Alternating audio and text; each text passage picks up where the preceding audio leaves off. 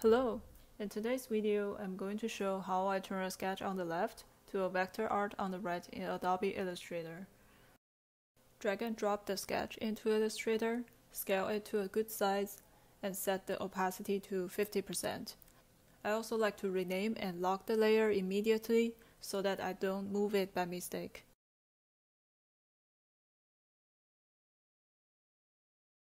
Create a new layer and start from a circle. In my sketch, I have solid line on the bottom part and dots on the top part of the circle. So what I normally do is I draw a horizontal line to separate the circle, then select both of them and use the Pathfinder tool to split them into small pieces. They become transparent because they lost the color for the outline, but you can still select them and delete all the unnecessary pieces. So now I end up with two curves that looks like a full circle.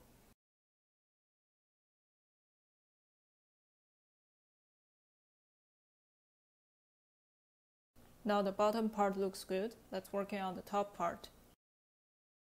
Go to stroke panel and then check the dashed line checkbox. Over there we can edit how long does each dash and gap going to be. In our case, we want to have 1 pixel for the dash and then 20 pixel for the gap. We also need to choose the round option for corner and cap on the top so that we can make the 1 pixel dash look like a circle. The dash line tool is very powerful and we can do a lot of creativity things over there. Now the circle looks good and let's start a new layer to working on trees. Hold the shift key and draw a long vertical line as trunk, then a short horizontal line as a branch. Use align tool to make them centered. Press plus on the keyboard, then click the middle of the horizontal line to add an anchor there.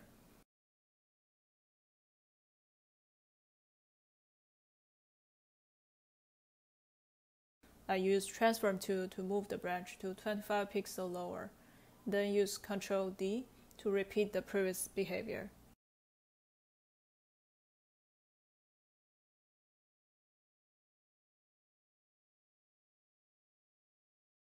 Copy the tree to make another smaller one.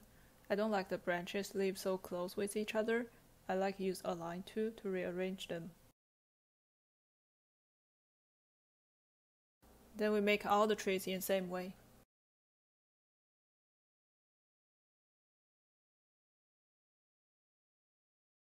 Then we draw two curves quickly for the river with brush tool or pen tool.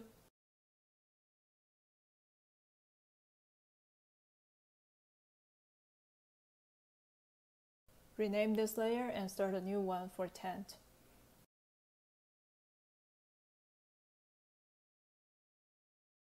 Use polygon tool and press down on your keyboard for three times. Now I end up with a triangle as the front face of the tent.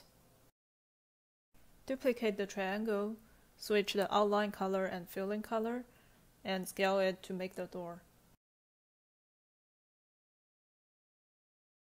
Use the rectangle tool to make the body of the tent.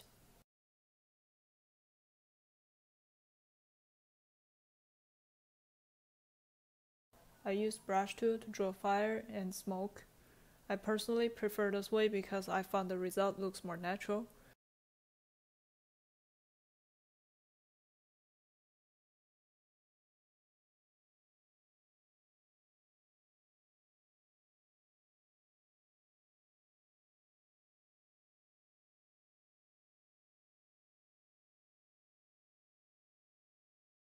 Create a new layer for the mountain and the sky. I'm using pen tool here because I want to have hard and straight line for mountain. Also going to add some curve on the top so it match with other elements.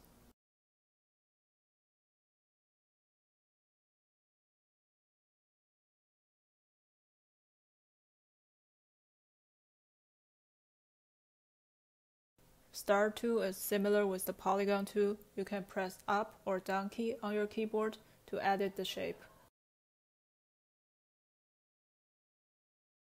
I use a smaller circle to cut a bigger circle with Pathfinder 2 to make the moon shape. At this point, all the main part are finished. I just need to add some decoration lines for the river and mountain, also under the tent.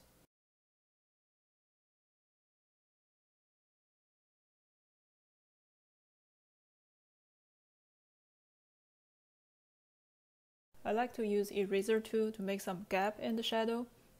I just personally feel that looks better. Add a little bit more detail for the tent and also the fire. Now I'm happy with how it looks and I like to copy everything and then convert them into shape so that they are scalable.